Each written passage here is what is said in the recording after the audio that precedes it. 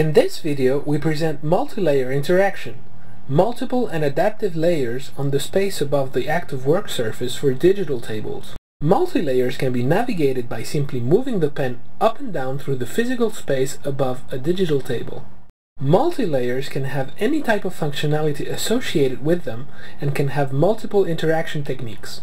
Multi-layers allow accessing different functionality on digital tables with the help of the digital pen without the need to introduce new interaction devices.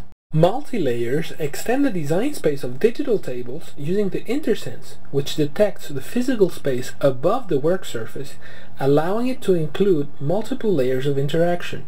Multi-layers are 4 centimeters thick and range between the table surface and 16 centimeters above it so users can move their hands freely without having to remove their forearm or elbow from its resting position on the table.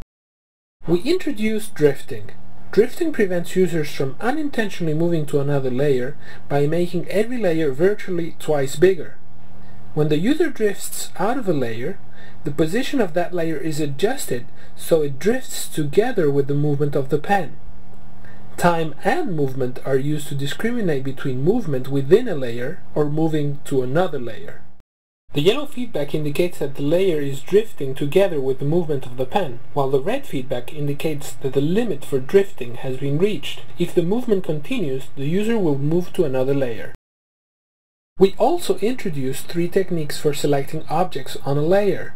The first technique is pen air tap, where the user makes a movement with the pen which is similar to the movement of the index finger when clicking a mouse. The second selection technique is pen through, which works by crossing down and then back up an activation plane within each layer. The pen movement while using this technique resembles the sewing movement where the pen is the needle and the activation plane is the canvas. When the activation plane has been crossed downwards, a blue dot is displayed indicating that the next movement for pen through is up. Finally, the third technique is crossing, where the pen enters the object and then exits it close to the entering point to select. We have implemented a simple sketching application which uses multi-layer interaction techniques to access all of its functionality. By switching between layers, users are able to switch between different options within the application.